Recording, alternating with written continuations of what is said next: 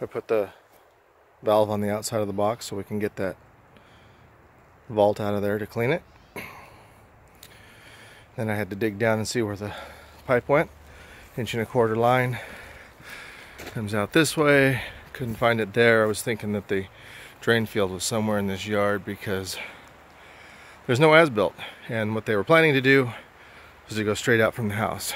So, under here, I guess maybe 10, 12 feet from the house is a 90, inch and a quarter 90.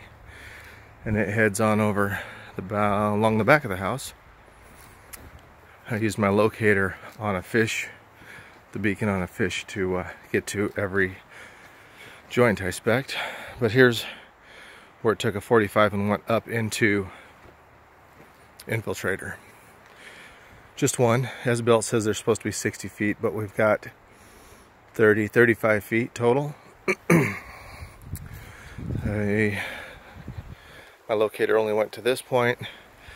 Over there I installed a little round vault thing to uh, for the clean out because there was already a clean out on there. So we flushed it real good. And I dug over here looking for the other infiltrator, hoping that the other clean out wouldn't be underneath the swing set. But I couldn't find another infiltrator. So I don't know if they did something really wonky, but there only seems to be one infiltrator here.